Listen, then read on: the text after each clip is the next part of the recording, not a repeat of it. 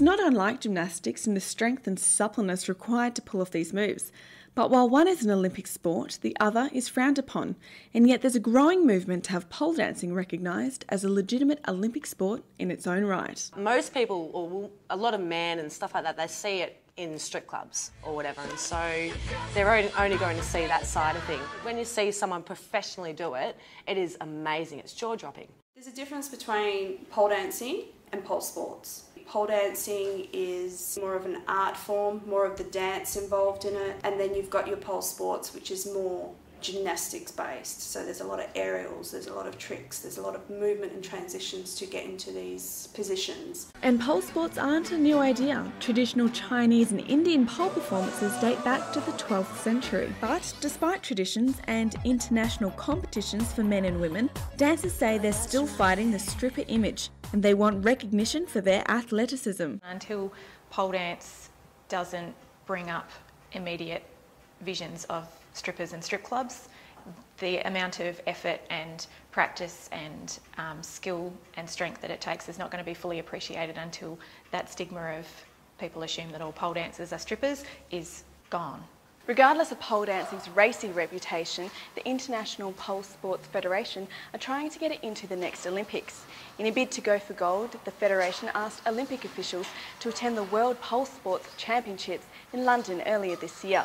Tammy Baxter was one of two pole dancers from WA who competed in London. We did like preliminaries and then I had the finals. Uh, so I did the preliminaries. I unfortunately didn't make it into the finals, but uh, luckily Joanna Littlewood Johnson, who's from WA, did make it in. I just wanted everybody in the world to see how graceful and how much strength you need. Like it, it really is an Olympic sport. Like lawn bowls is in, in the Olympics. That doesn't take too much strength. If it gains Olympic status, it will be called vertical gymnastics. Gymnastics is very much about mind over matter, and so is pole dancing. There's some moves in pole dancing that um, are pretty scary, but you just have to know that you're strong enough to do it and do it. Gymnastics was exactly the same.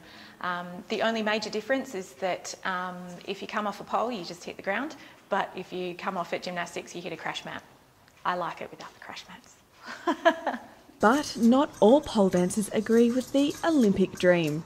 It hasn't been around for very long uh, as in a fitness context, and it's probably a bit too soon. There needs to be some um, things put in place, like standardised names for the moves.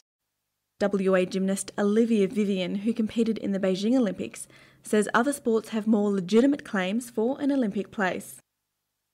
I know there's a few sports under the gymnastics um, tent right now that are not in the Olympics. So I'm not sure even if you know it's fair letting them wait their turn and wait for the other sports that have probably been waiting. And waiting is exactly what these potential Olympic pole dancers are going to have to do, as the Olympic Committee is yet to decide if these spins are a sport.